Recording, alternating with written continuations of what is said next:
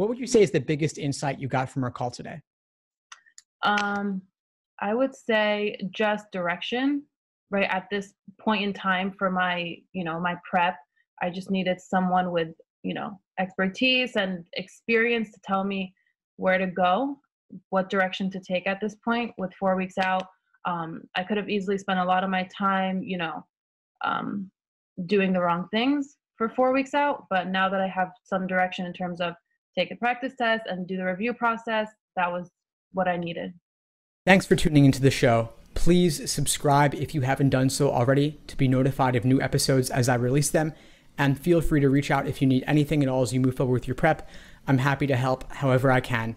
In the meantime, I wish you all the best and take care.